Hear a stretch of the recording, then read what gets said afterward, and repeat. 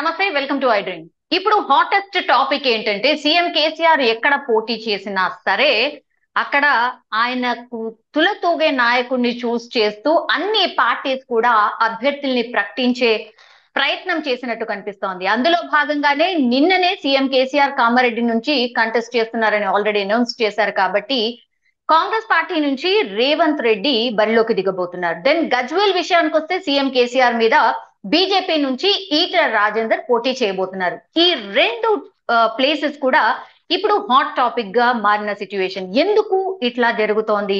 ఎందుకు ఈ decision తీసుకున్నాయి parties ఒకసారి మాట్లాడే ప్రయత్నం చేద్దాం. మనతో పాటు ఉన్నారు పెంటపాటి పుల్లారావు గారు రాజకీయ విశ్లేషకులు. సార్ నమస్తే. నమస్తే నమస్తే. సార్ ఇవి రెండు హాట్ సీట్స్ లాగా కనిపిస్తున్నాయి సార్. ఎందుకంటే సీఎం కేసీఆర్ ఎక్కడైతే పోటీ చేస్తున్నారో ఒక ప్లేస్లో రేవంత్ రెడ్డి ఇంకో ప్లేస్ లోనేమో ఇట్లా రాజేందర్ పోటీ చేస్తున్న సిచ్యువేషన్ ఎందుకని సార్ డిసిషన్ తీసుకున్నారు ఇట్లా? ఈటల్ రాజేంద్ర ఆయన బీజేపీకి ఒక బ్యాక్వర్డ్ క్లాస్ ఫేస్గా అందరికి అర్థమవుతుంది. ముఖ్యమంత్రిగా ఆయన పాపులర్ మ్యాన్ ఆయన సమాజ వర్గం బ్యాక్వర్డ్ క్లాసే కాదు. ఆయన ముద్దురాజ్ కమ్యూనిటీ కూడా చాలా సంఖ్య ఉన్నది. గజ్వేలో డెబ్బై వేల మంది ఉన్నారు. ఇవన్నీ చూసుకుని కేసీఆర్ మీద పోటీ చేస్తే అదొక ఫోకస్ వస్తుంది కదా. బీజేపీ సీరియస్గా రాష్ట్రం అంతా ఒక పలుకుబడి వచ్చినట్టుగా ఉంటుంది. దానికి ఎదురుగా వచ్చి రేవంత్ రెడ్డి గారు అక్కడ ఏదో మళ్ళీ అక్కడ ఆయన మీద పోటీ చేయకపోతే కాంగ్రెస్ పార్టీ సున్నా అవుతుందని ఆయన నామినేషన్ వేశారు. అక్కడ ఆ కామారెడ్డిలో ఏదో మనం గెలుస్తారు ఓడిపోతారని కాకుండా ఆయన కూడా ఆయన ఏదో గెలిచేస్తాడు ఈటల రాజేందర్ అని కాదు ముఖ్యమంత్రి మీద పోటీ చేస్తున్నా ముఖ్యమంత్రి మీద పోటీ చేస్తా ఎదురు రెండే సీట్లు పోటీ చేస్తున్నారు ముఖ్యమంత్రి గారు రెండు సీట్ల మీద పోటీ చేస్తున్నారు కదా మేము తక్కువ రేవంత్ రెడ్డి గారు రెండు సీట్ల మీద చేస్తున్నారు. నేను తక్కువ అని ఈటల చేస్తున్నా ఇది ఎవరు గెలుస్తారు తర్వాత పబ్లిసిటీ వస్తుంది వాళ్ళిద్దరికి. ఎవరికి ఏదో అక్కడ పోటీ చేసేస్తున్నాడు కేసీఆర్ ఓడిపోతాడా పోతాడా అని. కేసీఆర్ ఎలా రియాక్ట్ అవుతాడు? కేసీఆర్ భయపడతాడా? లెక్క లేకుండా ఉంటాడా? లెక్క లేకుండా ఉంటేనే కరెక్ట్ స్ట్రాటజీ ఇది ఓటర్ల దగ్గర మీరు వేయండి వేయకపోతే ఎలాగా అని అనకూడదు. మరి ఏమంటాడో చూడాలి. సలహాదారులు ఎలాంటి వాళ్ళు ఉన్నారు చూడాలి. నాటు సలహాదారులు ఉన్నారనుకో ఆయన ముంచేస్తారు. ఏ ప్రతి ముఖ్యమంత్రిని ముంచేసేది నాటు సలహాదారు అంటే రోజు పక్కన కూర్చునే వాళ్ళు. చెవులో ఊతా ఉంటారు మాట. అన్ని ముఖ్యమంత్రులు. ఒక నవీన్ పట్నాయక్ తప్ప మిగతా ముఖ్యమంత్రులందరికీ ఇయర్ ఫోన్స్. ఇయర్ ఫోన్స్ అంటే ఎవడో వచ్చి చెవిలో చెప్తా ఉంటాడు. ఆఖరి అది మంచివాడు ఉన్నా బాగా పోడుతున్నాడు అని అది మాట వింటాడు. సో కేసీఆర్ ఆ రెండు సీట్లు ఓడిపోయినా ఆయన పార్టీ అధికారంలోకి వస్తే ముఖ్యమంత్రే కదా. అంతే కదా?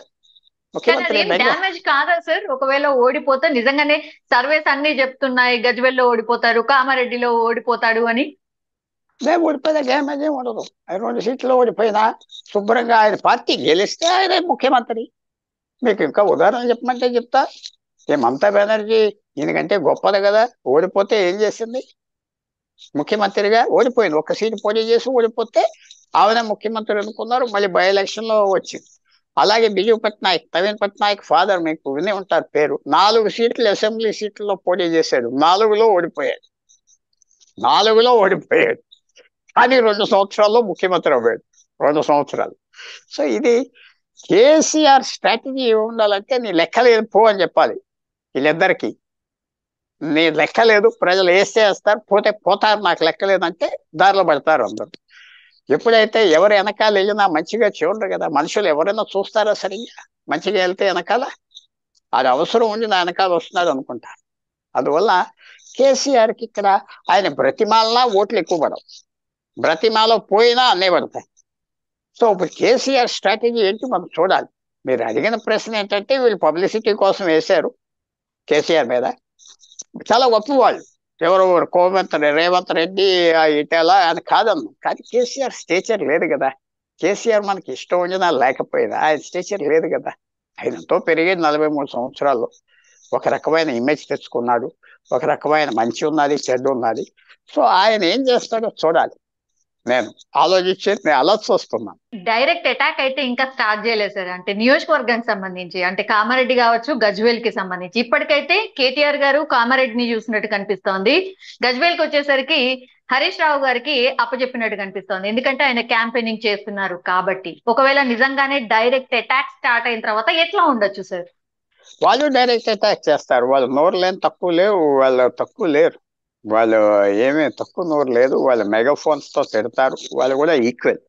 ఏమి వీళ్ళకి తర్వాత ఆయన ప్రాంతీయ పార్టీ సొంత పార్టీ. వీళ్ళిద్దరూ మిగతా వాళ్ళు ఒక నేషనల్ పార్టీలో ఒక చిన్న చొక్క ఇద్దరు. వాళ్ళకి టికెట్ ఇవ్వబోతే ఇంటికి వెళ్ళిపోవాలి అంతే ఇద్దరు. ఎంత రిమోట్ కంట్రోల్ అన్నది రిమోట్ కంట్రోల్. ఇది ప్రాంతీయ పార్టీ. నిమిషం నిమిషానికి మార్చుకుంటారు. తర్వాత నేను చెప్పిన సైకాలజీ చాలా మందికి నేను మాట్లాడినప్పుడు కూడా అది కరెక్టే అంటున్నాను ఆయన కేర్ఫుల్గా ఒక ఇటు అటు ఒక నిండు కొండలాగా ఉంటే గెలుస్తారు ఎగిరిపోయి ఆయన చేస్తే ప్రజలు లోకు పెడతారు. ఎందుకంటే పది సంవత్సరాలు ముఖ్యమంత్రిగా ఉన్నాడు మన మీద ఆధారపడాడు నాకు ఉద్యోగం ఇవ్వలేదు నా కొడుక్కి ట్రాన్స్ఫర్ చేయలేదు లేకపోతే నా అబ్బాయికి పెళ్ళి చేయలేదు ఇవన్నీ ఆయన మీద తోస్తారు. ఓటర్లు ఏముంటుందంటే ఎవరి మీద వాళ్ళ కోపాలు తోయలేరు. ఆ రోజు ఆ ఎమ్మెల్యే మీద తోస్తారు లేకపోతే ముఖ్యమంత్రి మీద తోస్తారు. సో అవన్నీ కేసీఆర్ తెలుసు. ఇప్పుడు బిహేవ్ ఎలా చేస్తాడో మనం చూడాలి. మీ ఛానల్ కూడా చూడవలసింది అంటే ఆయన ప్రవర్తన ఎలా ఉన్నది? ఆయన లొంగిపోతున్నాడా రెక్లెస్గా ఉంటున్నాడా అందువల్ల ఇది ఒక ఇది ఆయన సైకాలజీ మనకు అర్థం అవుతాయి ఆయన మెంటల్ మెంటల్ స్ట్రెంగ్త్ మనకు అర్థం అవుతుంది వీళ్ళిద్దరూ కాదు. వీళ్ళిద్దరూ నేషనల్ పార్టీ లీడర్స్ ఆ టికెట్ ఇవ్వకపోతే వాళ్ళు పోటీ చేస్తారా? టికెట్ బీజేపీ టికెట్ ఇవ్వకపోతే ఆయన చేయడు. కాంగ్రెస్ టికెట్ ఇవ్వకపోతే ఏం పోటీ చేయగలరా లేదు కదా? సో అందువల్ల ఈ ఫ్యాక్టర్స్ అనేవి వస్తాయి. కేసీఆర్ కదా ప్రజలు ఆలోచించుకోవాలి. ఆయన పోతే వాళ్ళకి మళ్ళీ ఎవడో దిక్కుండడు పోతే పోయారు అనుకుంటే అది వేరే మాట. ఇది ఇంట్రెస్టింగ్ ఫైట్ ఎవరి అవసరాల కోసం వాళ్ళు వేశారు?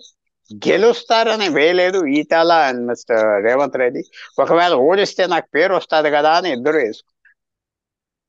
లాస్ట్ సార్ ఇప్పుడు అందరు మాట్లాడుతుంది ఏంటంటే కాంగ్రెస్ గెలవకూడదు అని చెప్పి కేసీఆర్ గారు ఓన్లీ కాంగ్రెస్ ఫోకస్డ్గా వాళ్ళ మీద విమర్శలు చేస్తున్నారు. అసలు బీఆర్ఎస్ బీజేపీని అయితే అసలు ఏమీ అనట్లేదు. సో మేము అన్నది కరెక్టే కదా? బీజేపీ బీఆర్ఎస్ ఒక్కటే అనేది కూడా చాలా మంది మాట్లాడుతున్నారు సార్. అండ్ ఇంకోటి టిఎస్పిఎస్సి ఇష్యూ కావచ్చు దెన్ ఇప్పుడు మేడిగడ్డ ఇష్యూ కావచ్చు ఇవి కూడా యాంటీ ఇంప ఇంకంబెన్సీకి కారణం అవుతున్నాయి అనేది కూడా ఇది కూడా మాట్లాడుతున్నారు సార్. కరెక్టేనా ఇది?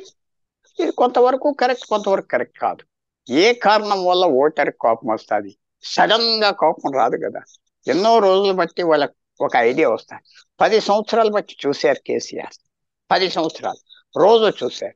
ఒక ఒపీనియన్ ఫామ్ అవుతుంది.